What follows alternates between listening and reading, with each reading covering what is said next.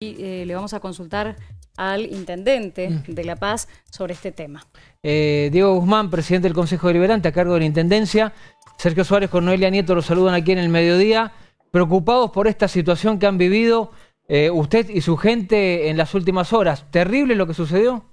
Sí, bueno, hoy saludo a toda la, la audiencia de su programa. Sí, la verdad que nos afectó una tormenta muy importante de, de granizo con, con fuertes vientos eh, en el departamento y bueno, luego finalizando con, con, un porcentaje importante también de agua, que eso también ha ido variando, también como, como el granizo en La Paz, fueron alrededor de entre 15 y 20 minutos de, de granizo, que el tamaño quizás no ha sido eh, muy grande, pero, pero sí mucha cantidad. Claro, y se puede observar en las imágenes que tenemos, intendente, que no sé si usted también tiene a mano ahí un televisor y lo puede ver, el, el suelo tapizado, verdaderamente ha sido mucho el, el, granizo y mucha la fuerza con la que caía.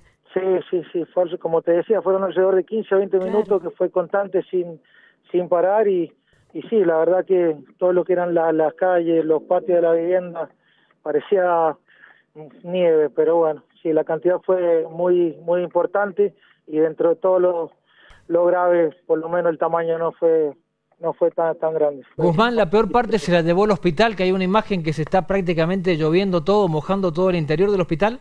Sí, sí, totalmente. Y algún otro edificio también han tenido algunos problemas, en algunos edificios municipales, porque la cantidad de granizo, más las hojas por, por el viento y bueno, todo lo que iba rompiendo el granizo cae sobre los techos y eso no permite eh, la circulación del agua como corresponde, los drenajes tengan que funcionar como, como corresponde y bueno, eso por ahí hace que se embanque o se obstaculice el agua y por algún lado tiene que, que filtrar. Bien. Así que bueno, fue bastante preocupante y eso tiene que ver con la cantidad de granizo. Bien. ¿Y la evaluación del resto de los daños, más allá de lo edilicio, el tema de la, la, cuestión productiva, las fincas, ¿cómo les ha ido lo, a las Y en personas? la cuestión productiva también ha ido variando.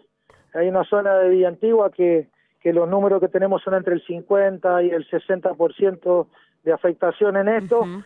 Y ya viniendo desde el oeste hacia el este del departamento, eh, hay una parte que está a la altura de lo que es la villa cabecera para el lado oeste, que se ha afectado en su totalidad en algunas fincas, por lo que no, no nos pasaban de la Dirección de Desarrollo Económico alrededor del 100%, sí. ¿Le pidió ayuda al, al gobernador Alfredo Cornejo, algún ministro, sí, alguna autoridad? Hemos mantenido contacto con, con la gente del gobierno y yo tengo que agradecer, pues de anoche que están, están llamando para verificar la gente Desarrollo Social, la gente del Ministerio de Salud, la gente del Ministerio de Economía a través de Alejandro Lotolop, así que bueno, yo más que nada agradecer y a, también a la gente de Vialidad, un montón de gente que ha que ha colaborado la, la, empresa eléctrica que es esa, que tiene asiento en La Paz, que también ha colaborado un montón, porque tenemos muchos problemas eléctricos, pero bueno, tratamos de trabajar estratégicamente y primero salimos a solucionar todos los problemas eléctricos domiciliarios y después sí empezamos a trabajar con el alumbrado público.